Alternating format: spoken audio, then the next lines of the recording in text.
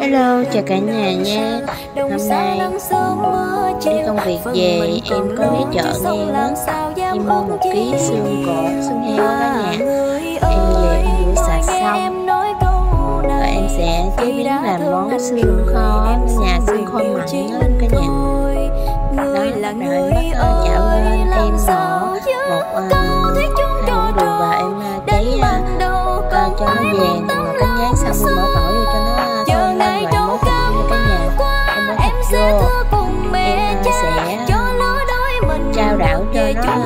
nó vàng được thịt xong rồi em mới nêm nếm cả nhà cả nhà biết không cuộc sống bây giờ công việc làm rất là khó khăn.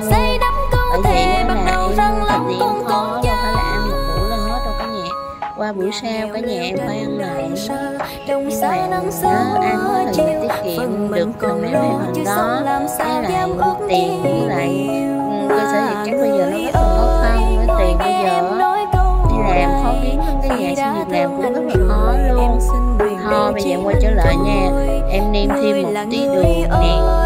một tí bột ngọt nè. Cho thêm một miếng nước mắm vào nữa nhà xong em bắt cho lên kho cho nó săn lại.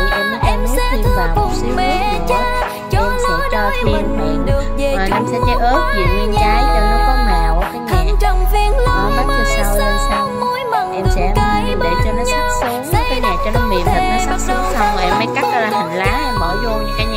đó bây giờ em sẽ bỏ hành lá cho cả nhà nha. Dạ, tuy em không biết ăn hành nhưng mà em không có gì muốn mình bỏ hành nhưng mà em ăn phải lựa ra nha cả nhà. Đó bỏ hành lá đi xong rồi.